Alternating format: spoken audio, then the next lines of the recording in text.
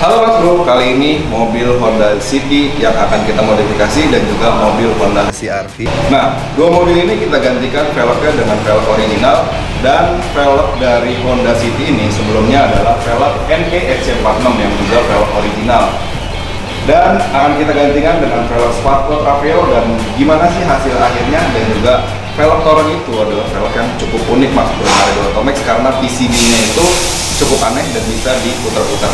Nah, akan gimana hasil jadinya dari kedua mobil ini dari dua velg yang original juga? Jangan ke mana-mana, gua nggak mungkin. Selamat datang di channel Otomax.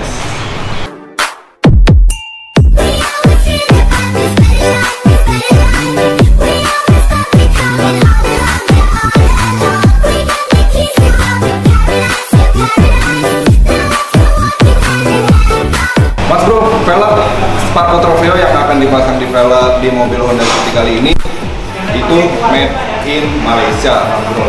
Mungkin Mas Bro banyak yang tahu kalau misalkan Sparko ini made in Italy. Nah, kenapa made in Malaysia? Karena pabrikan dari Sparko ini adalah pabrikan Malaysia. Jadi untuk manufakturnya hanya manufakturnya aja di Malaysia, tapi engineered by Italy. Karena setelah velgnya itu jadi, semua velg yang udah diproduksi di Malaysia itu distorkan ke Italia dan importer dari Indonesia ngambilnya ke Italia nah, jadi nggak boleh langsung ngambil dari Malaysia. Nah kenapa di busnya itu tertulis made in Malaysia jadi cukup untuk manufakturnya aja di sana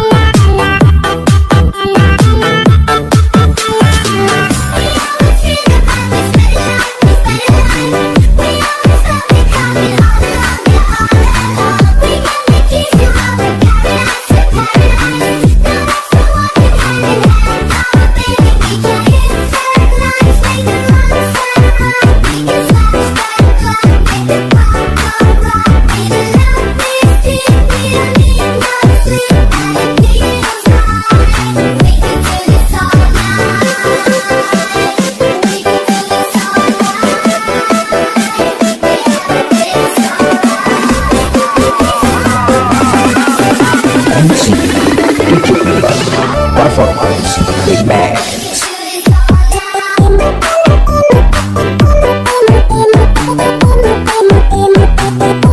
Nah, yang kedua itu mobil Honda CR-V yang akan kita gantikan velgnya juga menggunakan velg Toron. Kenapa gue bilang tadi unik? Karena velg dari Toron itu PCB-nya double PCB, cuma terlihat kayak satu PCB karena dari dopnya itu bisa diputar sehingga lubang baut dari velg Toron itu nggak kelihatan mas bro. Jadi cukup apa ya cukup unik lah dibanding velg-velg yang lain. Memang jarang banget sih velg seperti ini. Nah kalau misalkan velg Toron itu pabrikannya di Cina, namun tetap engineer-nya by USA. Nah, untuk menekan cost dari pembuatan velg ini dan juga untuk semua para modifikator-modifikator di Indonesia ini merasakan velg Toran yang dari USA itu, akhirnya uh, pabrikannya di Cina, tapi tetap uh, formulanya, engineer-nya itu dari USA langsung, karena kualifikasi atau tesnya itu semua dari USA-nya. Jadi untuk di Cina itu hanya pabrikannya aja, nggak masalah karena semua bahan atau formulanya itu dari USA.